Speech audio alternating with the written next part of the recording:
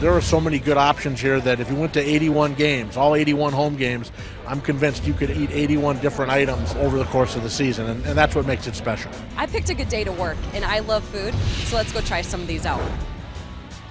It's really just kind of reinventing some of the old stuff, focusing on some of the, the, the, people that have been here forever, which is great. We love that. Um, it kind of really shows you know our commitment to them and the stability that we have with them. But then rolling in some of the new items like the Soul Bowl, which I think is going to be really exciting because we have never done any type of southern food or soul food at all. And then Greek food as well. We haven't done anything with Greek food before, so uh, Nick Karos over at It's Greek to Me and his wife Athena have been really fun to work with. It really is. Uh, a big Greek family experience when you go to a place like that. So we really wanted to focus on that and bring that into the ballpark as well. In the center, we have our peanut butter and candied bacon sandwich. The candied bacon is candied with uh, strawberry jelly, and then it's served on a sourdough bread. And then on the end is our Philly cheesesteak sandwiches.